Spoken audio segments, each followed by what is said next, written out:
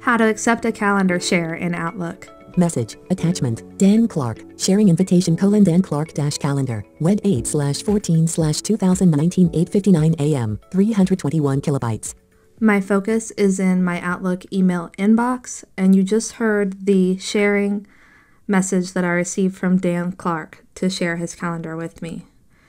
Now, I don't normally do this in a task demo, but I am going to point out along the way several ways of accepting this calendar share that won't work, just to emphasize the difference, as it does vary quite a bit in this message from how you would accept a meeting request. For example, if I were to open the contextual menu and look for an accept button, like I might in a meeting request, that won't work here. Instead, I'll press enter to open the message. Enter. Sharing invitation colon Dan Clark dash calendar dash share. Four links. By default, my focus is in the calendar share message body, and there's not any text there right now, only a signature.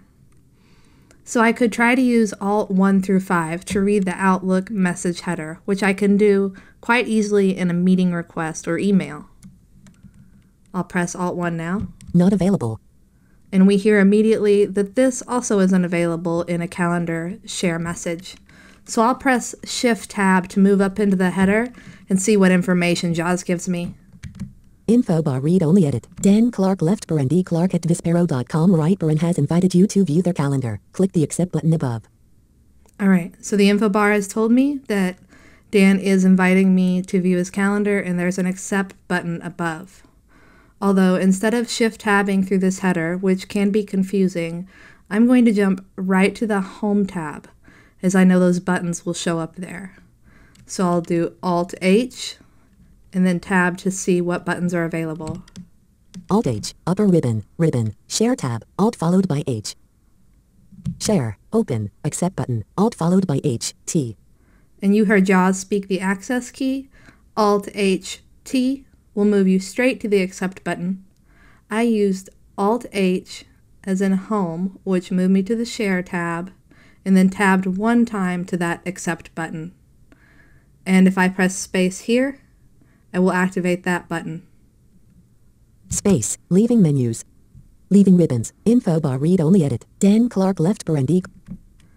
You see on the screen that Outlook has moved its focus from the inbox view to the Outlook calendar view.